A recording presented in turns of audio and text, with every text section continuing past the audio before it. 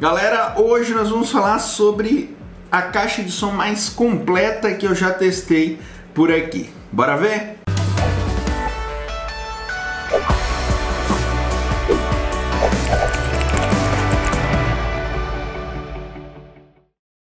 E aí, antenados, tudo tranquilo? Aqui é o Ronde trazendo para vocês mais um vídeo hoje para trocar ideia com vocês a respeito dessa soundbar Bluetooth aqui, ou simplesmente caixinha de som tudo em um que tem muita coisa bacana para você.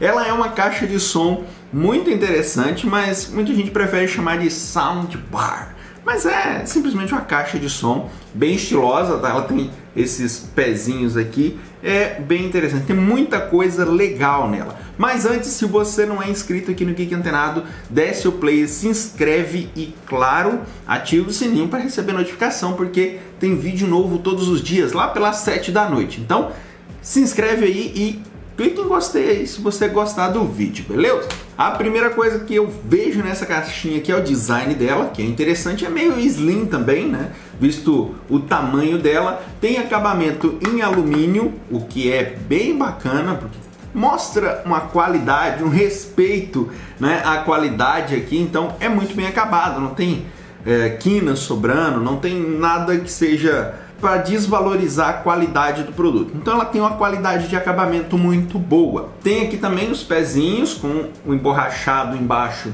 para proteger ela né, das vibrações e não pegar, não captar isso quando você quer ouvir a música com a qualidade legal. E além disso, rapaziada, ela tem um relógio aqui na frente. Você pode usar ela como alarme.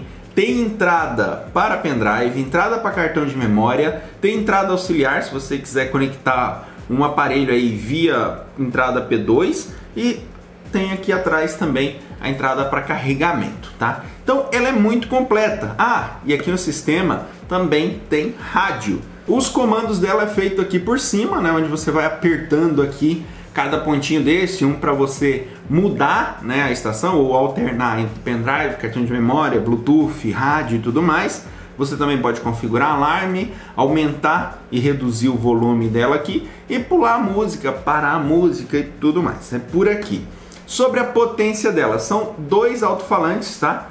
De 5 volts, então tem alto-falante aqui, alto-falante aqui, os dois de 5 volts, o que é bacana também. E o alcance do Bluetooth é no máximo de 10 metros. Então, se você levar o celular 20 metros longe, não espere que ela toque, tá ok? Sobre autonomia de bateria, ela toca em média 6 horas, tá? Se você colocar música, em média 6 horas. Se você deixar ela no modo relógio, consegue aí umas 17, 18 horas foi a média que eu consegui aqui. Mas se você quer só tocar a música, é na faixa de 6 horas de música tocando.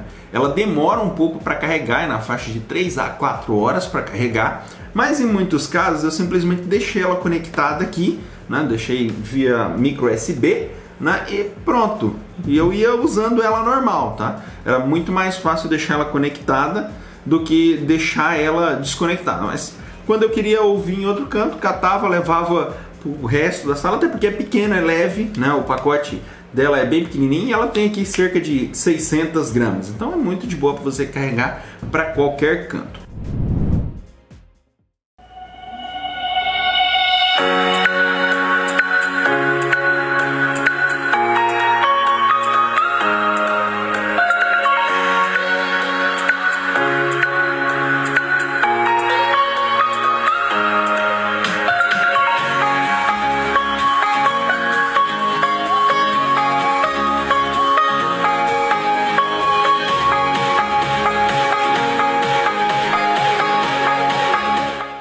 O som dela é bacana, é um som limpo, é um som que não peca em graves, na verdade ele tem mais graves, então você não ouve tanto os médios, digamos, mas é um som bem limpo, é um som que você ouve bem, você entende bem a música, mas para quem não gosta tanto de graves na música, pode não ser uma boa opção porque o dela é mais forte mesmo, tá ok? Mas achei que é uma caixinha bem bacana justamente por ser muito completa, por ter todos esses recursos. Porque várias caixas de som que eu testei e curti muito, como foi o caso da Rimax que está ali atrás, vou deixar o vídeo dela aí para vocês, que é a prova d'água e tudo mais, faltava entrada para um pendrive, que volta e meia tem a galera que tem um pendrive aí no carro. E faltava isso. Então essa daqui veio para cobrir essa necessidade. Sem contar que é um relógio bem estiloso para você deixar ali no rack.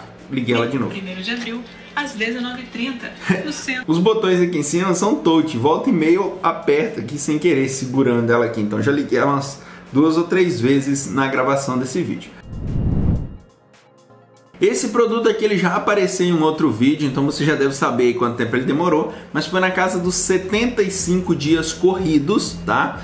E veio sem taxa. O preço dele está na faixa de 136 reais e você encontra ele na Banggood, que é uma loja parceira aqui do canal. Se você quiser comprar, o link estará aqui na descrição e saiba que comprando pelo link do canal, você nos ajuda, ajuda a manter o Geek antenado sobrevivendo aí, beleza? Se você curtiu esse vídeo, claro, deixa aquele gostei, compartilhe com seus amigos e não se esquece que tem teste de áudio dela na descrição também, porque é, muitas músicas não dá pra gente colocar direto no YouTube por causa dos direitos autorais. Beleza, rapaziada? Espero que tenha curtido. É isso aí. Valeu!